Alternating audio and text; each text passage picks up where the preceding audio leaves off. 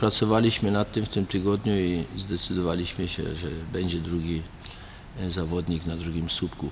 To już, ja mówię, że piłka jest grą, grą błędów. Dobrze zawsze wychodziło, prawda? Nigdy bramki się w te okienko nie straciło, bo tak wpadła prawie w tym miejscu. Zresztą nawet w tym kryciu strefy wszyscy zawodnicy e, bardzo dobrze reagowali. Tutaj w tej sytuacji nie upilnowali zawodnika i to było w sytuacji, kiedy zawodnik znajdował się między dwoma, prawda?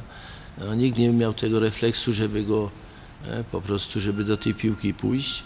No i stało się i, i, i zeszła mu piłka z głowy tak, tak, tak e, idealnie koło słupka w okienko, no, że, że, że rzeczywiście e, Mariusz nic nie miał do, do, do, do powiedzenia. Myśmy zdecydowali jednak, że gdyby tam stał zawod, zawodnik jakiś, to na, na pewno byśmy tego nie, nie, nie, tej bramki nie stracili. No ale stało się, wnioski trzeba wyciągać i żeśmy zdecydowali, że będzie e, drugi zawodnik na drugim słupku.